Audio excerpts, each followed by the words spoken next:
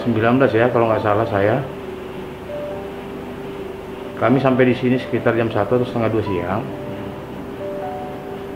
jam 4 istri saya langsung dioperasi cepat berarti gitu penanganannya pak iya bang Hmm. dengan cepat jadi istri saya ada seminggu di ruangan ESU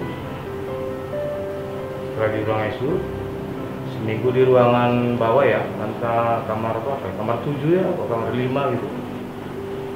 Baru kami pulang. Itu udah sembuh tuh pak? Ah, dokter bilang untuk pemulihannya di di rumah lah diapakan itu.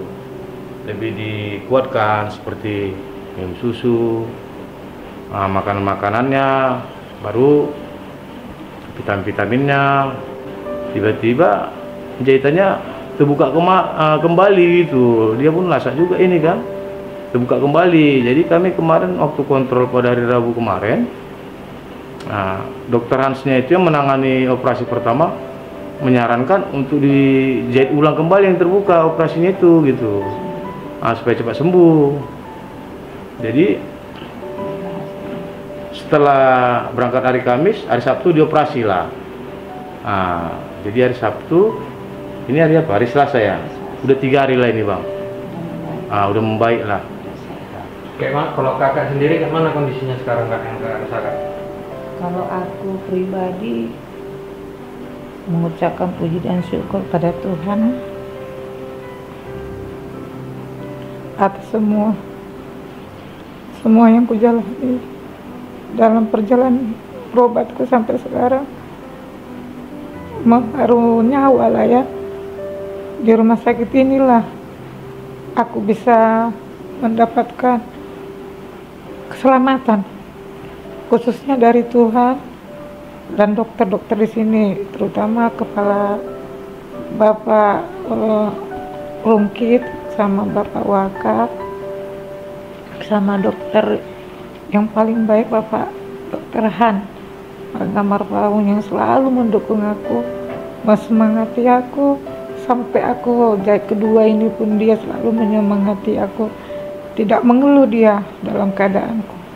Sampai sekarang inilah yang kurasakan.